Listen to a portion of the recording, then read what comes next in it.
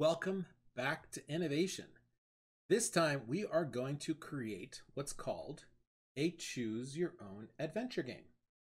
So to make the game, we have to first make a plan because this game we can't really figure out how to design it until we figure out what the story is a little bit. So the way a choose your own adventure game works is we have to map out some choices for our characters. So I'm going to call my character Abby. And we're going to draw a little circle here. And this represents the start. So our character Abby is going to start somewhere. So where's our character going to Abby start? Well, to figure that out, you should probably go into Scratch. We're going to look at Scratch I'm going to click on create a new project.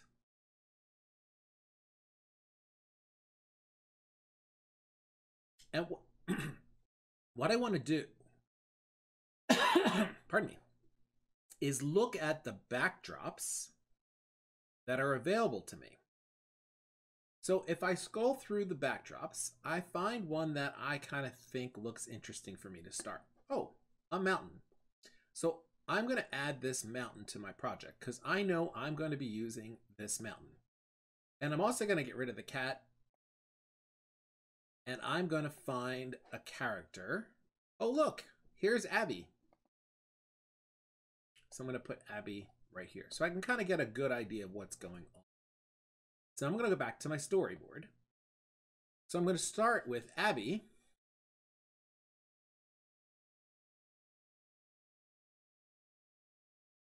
On a mountain. And you'll notice that to her left looks like there's a path, and to her right is a cave. So I don't have to write out the whole story right now.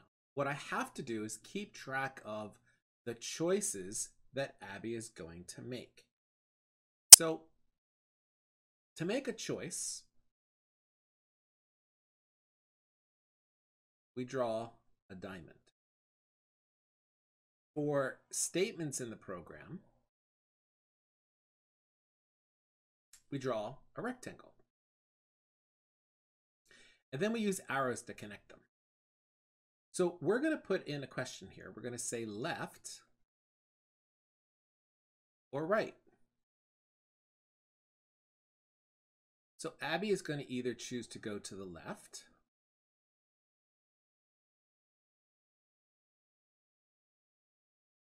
or she's going to choose to go to the right.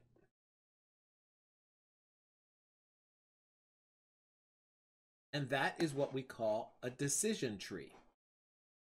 And we're going to map out in what's called a flow chart the entire decision tree for our program. When you're doing a decision tree, you want to stick with one branch at a time and follow that out a little bit before you go back over to the other branch.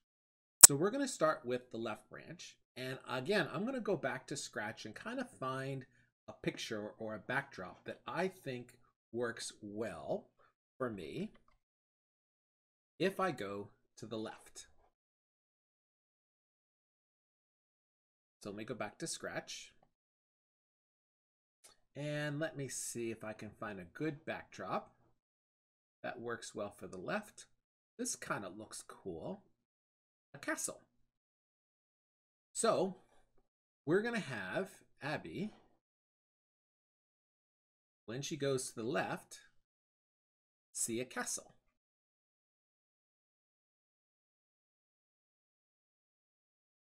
So she has a choice to go to the castle or to keep going straight we have another choice box. Castle or straight.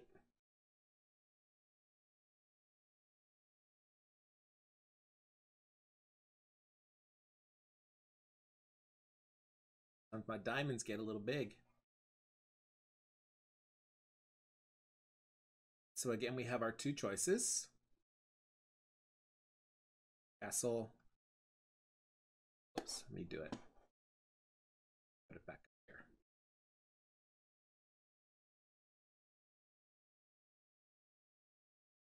Castle on this side. And straight on this side.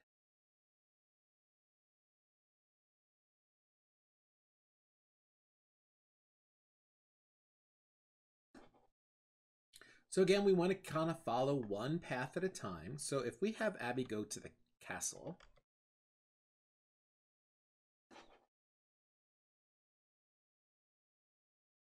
extend my page a little bit, get some more space. I want her to stand in front of a castle door.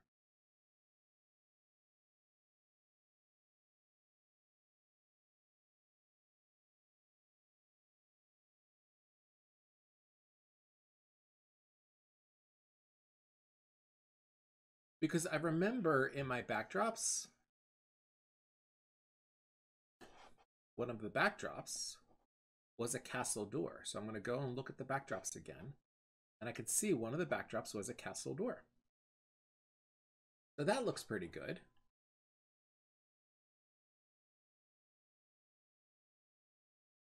Now, if she goes straight, I want her to go deeper into the woods.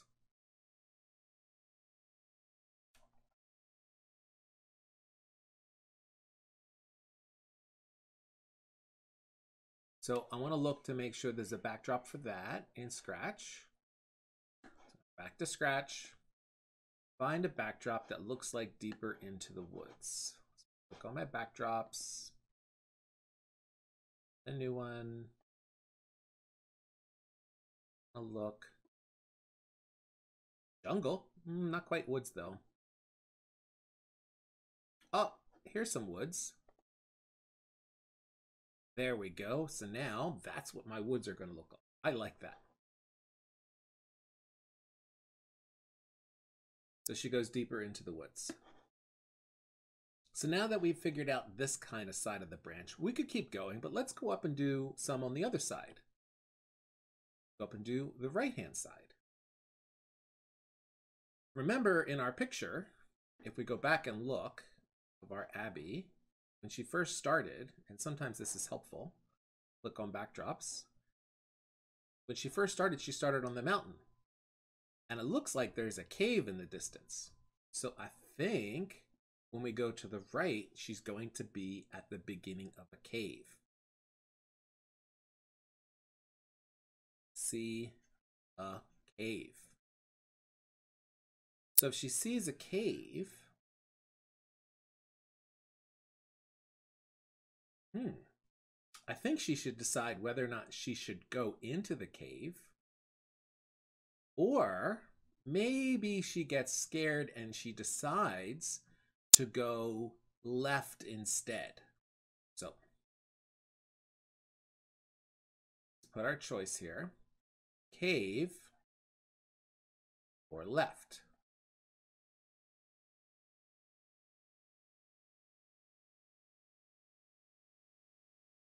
Cave this way. Now left, we actually already have an option for. So I'm going to take my arrow.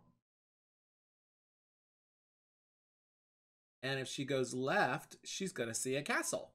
Just like she would have had she gone left the first time. So now we have the cave. Right? Now, when I look at this cave, I kind of think about it being some kind of portal or maybe um, a doorway. And when I think of a doorway, I think something special is going to happen. So I think it, when I get to doing my story and my code, I think she's going to do some kind of time travel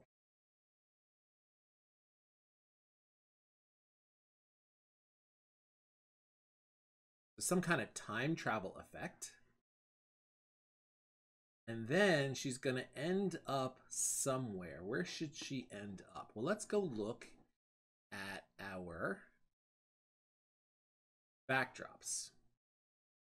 So first, I think I want to find a way for her to do a time travel effect. And I think, let's see. Hmm. One of these backdrops should look like a travel.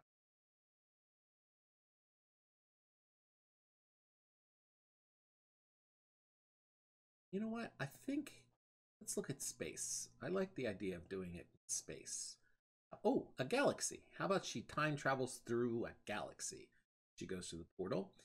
We added that backdrop. And then when she gets there, she's going back in time. So how about she goes to the Greek Colosseum? So I think that's a great time travel for her. She's going to time travel to the Greek Colosseum.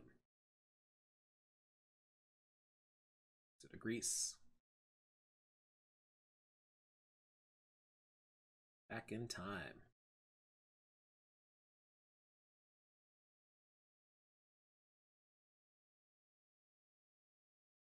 So now we have our storyboard.